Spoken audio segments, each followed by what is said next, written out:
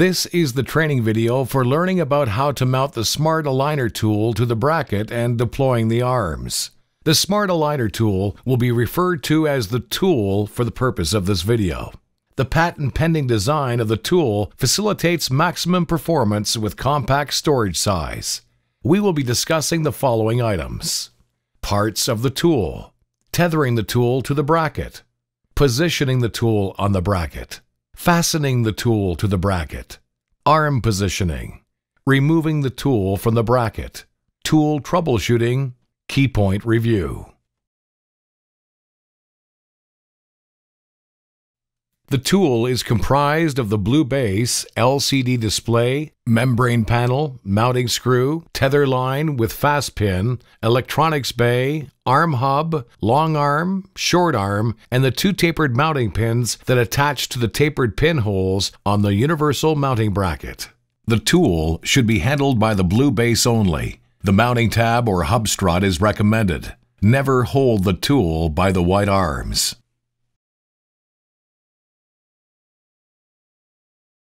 Prior to attaching the tool to the bracket, the fast pin of the tether should be inserted into the receiving hole on the bracket. The tether line fast pin is inserted and removed by pressing the release lock button. The next step is to decide where to position the tool in the bracket. The user has three choices on how to orient the tool. The tool can mount forwards, sideways, or backwards. If the antenna has no obstacles in front which could prevent a forward orientation and the antenna is not live, the forward position is preferred. If there is an obstacle in front of the antenna or the antenna is live, the side orientation is preferred. If the antenna is live and either side has obstacles, then use the backwards mounting orientation as space permits. Once you have decided how to position the tool in the bracket, line up the mounting screw over the center mounting hole of the bracket plate. Make sure that one hand is supporting the free end of the tool. Then gently allow the two tapered pins under the mounting flange of the tool to drop into the tapered holes in the bracket plate. Then tighten the screw until secure.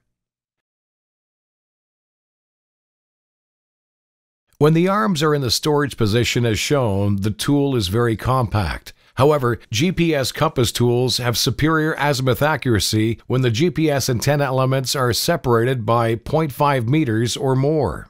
When the arms are deployed, the GPS antenna elements are separated by 0.5 meters, and the Smart Aligner tool is capable of 0.5 degrees of azimuth accuracy or better. All the user has to do is deploy the arms so that the blue chevrons on both arms line up. The deployed positions are the forward position, the left T position, and the right T position. It is important to note that each arm has a limited range of motion. The long arm can only move from the home position to either 90 degrees to the left or 90 degrees to the right. The short arm can move from the storage position to 90 degrees left 180 degrees clockwise, 90 degrees right, and 180 degrees counterclockwise, but it cannot continue rotating around in a complete circle. The reason that the range of motion is controlled in this way is to prevent damage to the cables that connect each GPS antenna element to the electronics. It is also important that the user make sure that the arm is properly locked in the detent position. You can feel the arm snap into place when the correct detent position is found. Generally speaking, it is recommended to always use the T position because this provides maximum extension of the GPS antenna's elements from the antenna being aligned. For the same reason as keeping the bracket as high up the antenna as possible, proper GPS antenna extension is instrumental to mitigating multipath error effects on the azimuth solution. Therefore, space permitting, for live antennas, it is recommended to have the tool to the right or left of the antenna and the arms in the T position. Before removing the tool from the bracket, ensure that the arms are in the storage position. It is recommended to turn the tool off to conserve battery power prior to the next survey. Never leave the tool powered on with the arms deployed while moving to the next antenna. This could potentially affect your azimuth solution drastically. Next, support the free end with one hand while unfastening the screw with the other.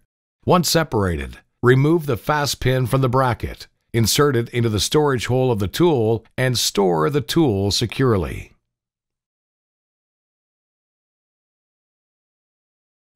If you find that the bracket is moving slightly after the tool is mounted to it, then try tightening the strap slightly more. If you are unable to get an azimuth measurement within 3 minutes, try moving the tool to the side or backwards in the bracket and putting the arms in the T position. The front arm is stuck and will not retract to the storage position. If you rotated the front arm to the forward position in a clockwise direction, you need to return it using the same path, counterclockwise, because the short arm cannot rotate in a complete circle, 180 degrees each way. The long arm will not move to the forward position. The long arm can only be in three positions the home position, 90 degrees to the left, or 90 degrees to the right. Key point review Always handle the tool by the blue base only, never handle by the white arms. Attaching the tether fast pin to the bracket is the first step to attaching the tool. For live antennas, it is best to mount the tool to the side or backwards. The arms can be deployed in any position as long as the chevrons line up. For best performance and with live antennas, it is best to deploy the arms in the T position. The short arm can only move 180 degrees clockwise or 180 degrees counterclockwise. The long arm can only move 90 degrees to the left or 90 degrees to the right. Always ensure that the arm is properly in the detent position. Always return both arms to the storage position prior to removing the tool from the bracket. Never leave the tool powered on with the arms deployed when moving it to a new antenna.